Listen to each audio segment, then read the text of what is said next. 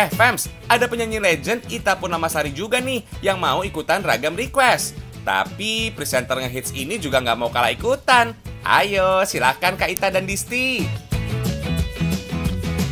Halo Ragam Indonesia Aduh saya tuh favorit banget makan yang namanya rujak cingur Alasannya ya karena saya kecil sampai gede di Jawa Timur, di Surabaya Sekarang kangen banget untuk makan rujak cingur Kalau nyari rujak cingur nggak di Surabaya Rasanya kok kayaknya memorinya beda ya Gimana kalau aku minta tolong sama Ragam Indonesia untuk bikinin makanan favoritku yaitu rujak cingur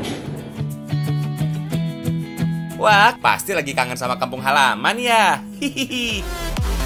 Olahan sapi yang populer dari Jawa Timur adalah rujak cingur, fams. Dalam satu mangkuk, rujak cingur dihidangkan dengan aneka sayuran dan tambahan irisan cingur sapi.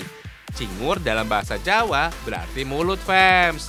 Katanya sih, rujak cingur awalnya muncul dari Mesir.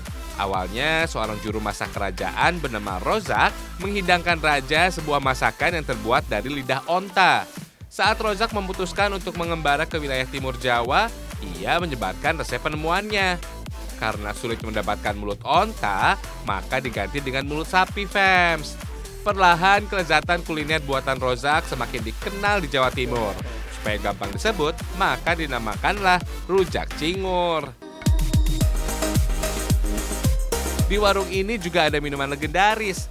Ini dia, fams, wedang tape hitam Minuman ini sudah ada sejak tahun 1950-an. Minuman ini dibuat dari tape ketan hitam, santan, gula, dan air panas fams. Santan yang dipakai untuk minuman ini menggunakan santan perasan pertama, jadi rasanya masih gurih dan enak banget.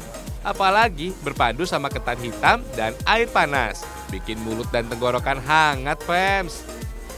Oh iya fams, tape adalah salah satu makanan tradisional Indonesia.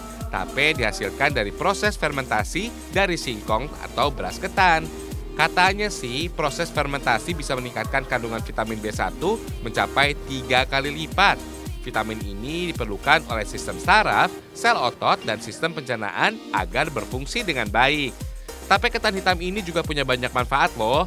Di antaranya dapat mengikat dan mengeluarkan racun dari dalam tubuh, mencegah anemia, bila dikonsumsi dalam jangka waktu yang lama, dapat mencegah stroke dan serangan jantung tuh.